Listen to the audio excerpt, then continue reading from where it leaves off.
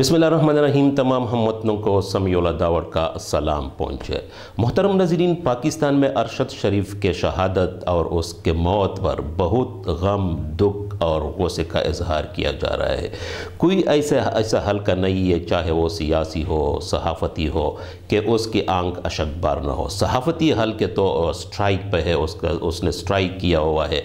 और बाकी भी लोग, चाहे वो बड़े हैं, चाहे वो ख़वातीन है, चाहे वो बच्चे हैं, इस इस पे दुख और गम का इजहार कर रहे हैं। लेकिन नाजरीन, हमारे कुछ ऐसे नाम नहाद लीडर्स भी है।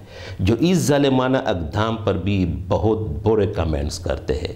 इनमें से एक पाकिस्तान मुस्लिम लीग के नायब सदर मरियम नवाज़ भी है, जिसने एक ट्वीट को रीट्वीट करके ऐसे अल्फाज इस्तेमाल किए हैं, जो मेरे ख्याल में बहुत नामनासिब है। कहना तो नहीं चाहता, मगर ये फितना इमरान और इसके योतियों के लिए ख़बर। ये एंकर कहता था कि नवाज़ शरीफ ने अपनी मरहुमा माँ को पार्सल करके भेजा है। इस एंकर ने बहुत प्रोग्राम किए, जिसमें दूसरों की बीमारी और मौत का मज़ाक उड़ाया। आज देखे, वो वक्त खुद इस एंकर पर आ गया है। नजरिन, इस पे रीट्वीट करके मरियम नवाज़ लिखती है I don't feel good writing this but this is a lesson for the mankind that we must all M बिन नजरिन, ये ट्वीट आपने देख लिया, जिसमें मरियम नवाज़ पहले तो वो जो असल ट्वीट है, उसने बहुत अतक अमेज़ अल्फाज इसके बारे में इस्तेमाल किए हैं। हालाँकि अरशद शरीफ ने ऐसा कोई ट्वीट नहीं किया है, ऐसी ज़ुबान उसने इस्तेमाल नहीं की है। उसकी ट्वीट्स में आपको दिखाऊँगा, लेकिन इसको रीट्वीट करके मरियम नवाज़ ने जो अल्फाज इस्तेमाल की है, वो भी बहुत बुरे और गिरे हुए अल्फाज है। क्योंकि एक सियासी लीडर जो अपने आप को सियासी लीडर कहता है उसके ये अल्फाज, उसको ये भी पता नहीं होता है कि ये ये बंदा है कहाँ का, ये जर्नलिस्ट है कहाँ का, ये आपके पाकिस्तान का है। और इस पे सारे ये पाकिस्तान की इज़्ज़त की बात है, पाकिस्तान के गम और दुख की बात है। और आपने सारे पाकिस्तानियों के ज़ख्मों पर नमक चढ़का दी। तो ये इसको जिसकी जितनी भी मजम्मत की जाए मेरे ख्याल में, वो कम है। लेकिन नाजरीन, मैं आपको वो ट्वीट्स दिखाता हूँ, जो अरशद शरीफ ने जिस पे इल्ज़ाम है कि आपने ये गलत ट्वीट्स की है। एक तो मरियम वो कहती है कि मैं नहीं चाहती। मैं कहता हूँ कि मरियम, आप चाहती है ये ये जो आपने लिखा है, ये आप आप आप चाहती थी। किसने आपको मजबूर किया कि आपका दिल नहीं चाहता है? पैर भी ये आपने ये आपने ये लिखा है। आपका दिल ये चाहता है जो आपने लिखा है। जो आपने लिखा है, वो आपकी जहनीत का खूब आइनादार है। उससे आपकी जहनीत का पता चलता है कि आपने जो लिखा है कि आपके जहन और आपके दिल में किया है। ये बात नहीं है कि आप नहीं चाहती थी, पैर भी आपने लिखा है। किसी ने आपको प्रेशराइज नहीं किया है। अरशद शरीफ के नजरीन, वो, मैं वो ट्वीट आपको दिखा देता हूँ, जो इसने मरियम नवाज़ की वालदा और इसके ख़ानदान के बारे में की है। मरियम नवाज़ ने एक ट्वीट किया कि, अम्मी in surgery at the moment request you all to pray for her thank you नजरीन, इसी ट्वीट पे अरशद शरीफ ने रीट्वीट किया, लिखा है prayers for good health and well being of Mrs Kalsoom Nawaz ये अरशद शरीफ का ये अल्फाज आप ये स्क्रीन पे आप देख सकते हैं। ये डेली टाइम्स का एक बयान था, Begum Kalsoom Nawaz fighting for life on ventilator इस पे नाजरीन अरशद शरीफ ने रीट्वीट किया। Prayers and wishes for good health and recovery of Kalsum Nawaz, a brave woman who stood strong in her roles as wife, mother, sister, and source of strength during difficult times for the Sharif family. Arshad Sharif's wife Javeria वो वो लिखती है, जब भी कोई बीमार हो तो ये दुआएँ पढ़ना मसनून है।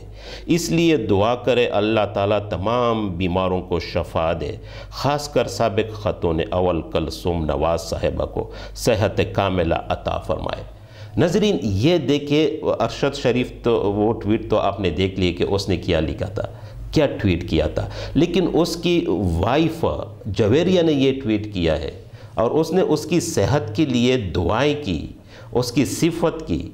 लेकिन मरियम ने किया, ये डिफरेंस नाजरीन में आपको दिखा दिखा देता तो ये आपको बताना चाहता हूँ कि डिफरेंट ऑफ़ माइंड सेट एक माइंड सेट दे के दूसरा माइंड सेट सेट दे के एक और ट्वीट नाजरीन में इस जवेरिया का मैं आपको दिखा देता हूँ कि उसने किया, लिखा है।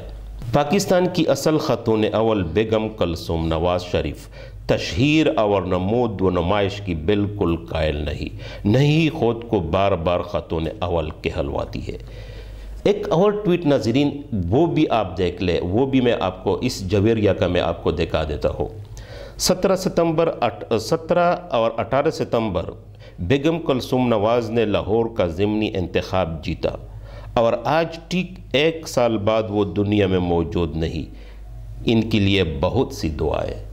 नजरीन, ये ट्वीट आप देख लें कि जब वो वफ़ात पा गई तो उसने जवेर यानी किया लिखा, उसके लिए उस पर दुख का इजहार किया है, उसके मौत पे, उसके रहलत पर दुख का इजहार किया है और साथ साथ दुआएँ भी दी। एक और ट्वीट नाजरीन में आपको दिखाना चाहता हूँ, वो भी स्क्रीन पे आ रहा है, वो आप देख लें। अलविदा कलसुम नवाज़ अल्लाह ताला आपको जवार रहमत में जगह दे। आमीन। नजरीन, ये ट्वीट आप देखे अरशद शरीफ ने किया, लिखा है, और उसको दुआएँ दी, और जब वो बीमार हो गई, और जब वफ़ात पा गई, फिर उसकी अरशद शरीफ तो छोड़, उसका तो एक सहाफ़ती ताल्लुक़ था। लेकिन उसकी वाइफ जवेरिया उसका तो कोई ताल्लुक़ नहीं था। बहसीत ये कि वो एक प्राइम मिनिस्टर की नवाज़ शरीफ की वाइफ है और एक अच्छी ख़ातून है। उसने उसकी सिफत की है और वो उसको सेहतियाबी के लिए दुआई दी। लेकिन जब वो फौत हो गई तो फिर भी वो उसने ट्वीट किया, उसके लिए दुआई दी। लेकिन दूसरा माइंड सेट आप देख ले। दूसरा माइंड सेट मरियम नवाज़ का है, जो एक, उसने ये जुल्म जिस पे सारे पाकिस्तानी खून बहा, खून के आंसर होते हैं, और उसने इसका मज़ाक उड़ाया। नजरिन, ये एक, मेरे ख्याल में इसका, मरियम नवाज़ के मैंटेलिटी का, ये खूब आइनादार है कि एक आम बंदा भी इसी तरह नहीं कर सकता। चाहे उसका दिल इस पर खुश हो लेकिन वो एक अपने पॉलिटिकल बैकग्राउंड और पॉलिटिकल पोजीशन उसकी वजह से भी ये वो ऐसा नहीं कह सकते और इतना गलत स्टेटमेंट नहीं दे सकता। तो अब नजरीन, मरियम नवाज़ का अगर ये सोच है, वो नायब सदर है पाकिस्तान मुस्लिम लीग की, फिर उसके चचा शबाज शरीफ का क्या सोच होगा? और उसका ये कहना कि इस ये ये फैक्ट एंड फाइंडिंग कमेटी में बनाऊँगा। तो उस पर इंसान के पर कैसे एतबार कर सकता है? क्योंकि एक तरफ़ बरसराम, उसकी भतीजी, जो एक अहम पोस्ट, ज़िम्मेदार पोस्ट पे है, उसके ये बयान आते हैं, और दूसरी तरफ़ उसका चचा, शहबाज शरीफ, जो वज़ी अजम पाकिस्तान है, वो कहते हैं कि इसके लिए मैं एक कमीशन बनाऊँगा। तो उसकी इस कमीशन और इस बातों पर इंसान कैसे भरोसा करे? क्या वो सिंसियर हो सकता है? अगर वो सिंसियर हो सकता है तो उसने अपनी भतीजी को फिर ये चाहिए कि वो से एक्सप्लेनेशन कॉल करे कि ये, आपने अब ये कैसा बयान दिया है। और वो उसको कहे कि आप बरसरे हम माफ़ी मांग ले अपने कौम से क्योंकि अरशद शरीफ भी किसी का बेटा था उसके किसी का खावन था किसी का भाई था।